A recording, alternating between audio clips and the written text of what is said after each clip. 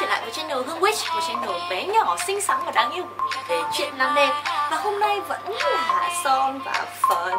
À không, vẫn là son thôi ạ, không có phấn. Hôm nay mình có một bộ son của Việt Nam. Yeah, mình chưa bao giờ dùng son Việt Nam Nhưng hôm nay là lần đầu tiên mà mình dùng thử son Việt. Người Việt dùng hàng Việt mà. Và khi mà mình nhận được cái bộ son này thì mình cũng đã rất rất rất phải wow lên bởi vì wow, nhìn xịn dã man ý thiết kế rất là kiểu giống như một cái sản phẩm nó rất là dòng high end. Và đây là son đến từ hãng Amber của uh, Việt Nam. Đây là của Việt Nam đấy ạ. Rất là xịn bây giờ mình đập hộp luôn nhá. Mình đợi mình một chút. Ở đây mình phải bóc tem ra này. Ấy rất chút tem rồi. Đấy mở ra. Và đây là sợi son wow nhìn giống như một cái bộ đồ trang sức ấy. Một món trang sức rất là xinh và thỏi son của chúng ta đây là dạng son kem thiết kế khá là đơn giản và mình cảm thấy khá là ok với cái thiết kế của son này. Tuy nhiên thì mình lại cộng điểm nhiều hơn cho cái vỏ bên ngoài cái thiết kế thì rất là xinh cảm giác uh, rất là được nâng niu. Và cái vỏ bên ngoài có một đôi môi cũng rất là xinh. Mình rất rất rất nóng lòng không biết là bây giờ son này chất lượng như thế nào và dùng lên môi ra sao. Hãy cùng mình swatch son luôn nhé. Đầu tiên là màu 01 là một màu đỏ tươi và đây cũng là một màu bán chạy nhất của bảng son Embere. Embere chất son rất là lì, tuy nhiên không khiến môi bị khô đâu và cũng không gây cảm giác nặng môi. Mình hoàn toàn bất ngờ trước cái thỏi son mịn như nhung mà còn thích hơn cả son Bonjour Velvet cơ ấy. Chắc chắn khi lựa chọn màu son này trông các bạn sẽ trắng hơn rất nhiều. Thoạt nhìn qua thôi cũng đã thấy bảng màu này toan màu son đẹp rồi. Chứng tỏ nhà sản xuất bắt sóng hot trend các màu son rất là siêu.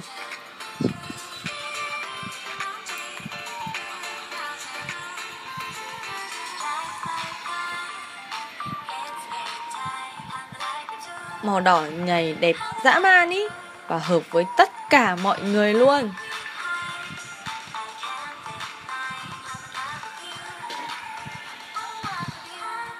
Màu 02 Đây là một màu đỏ cam, Tạo nên một sắc màu rất là sáng và tươi. Màu đỏ cam này rất dễ sử dụng, Thích hợp với tất cả các màu da, Kể cả là da có ngăm đen Cũng không cần phải lo lắng khi sở hữu em son này. Khi tô lên môi thì gương mặt sẽ sáng bừng và năng động hơn. Và đây chắc chắn chắc chắn cũng là một màu son mà bất kể ai cũng có thể dùng. Lại là một màu son tuyệt đẹp nữa. Dù mình rất thích thiết kế hộp quà nhưng mà hộp ừ, phối màu xanh và trắng thực sự là trông hơi thiếu thẩm mỹ. Ý tưởng hộp son thì hay và sang nhưng tổng thể lại không đẹp. Vâng, đây là một điểm trừ duy nhất và cũng rất là nhỏ cho em son này.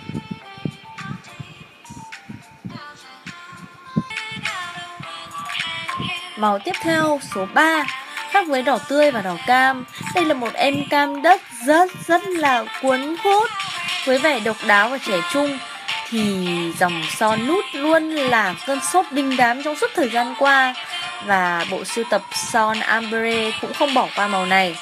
Đặc tính của dòng son kem ambre này là khả năng bám màu cao nhưng không hề gây khô môi. Vì thế mà các bạn có thể hoàn toàn tự tin tô trồng nhiều lớp son lên môi mà cũng không sợ phản ra đối với cái màu cam đất này nhé.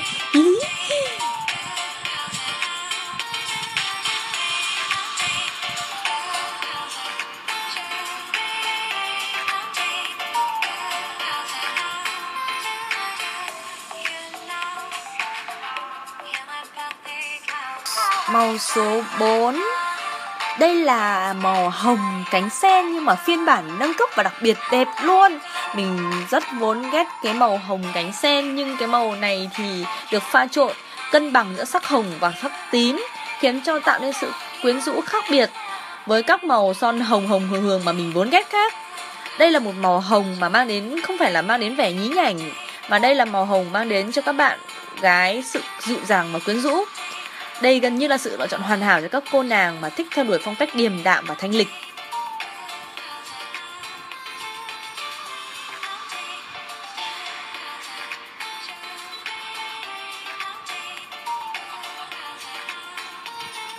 Màu cuối cùng là màu số 5 màu cam đào sữa rất là nhẹ nhàng và phù hợp với những bạn có lối make up kiểu tự nhiên hay có thể dùng để đi học, đi chơi kiểu rất nhẹ nhàng.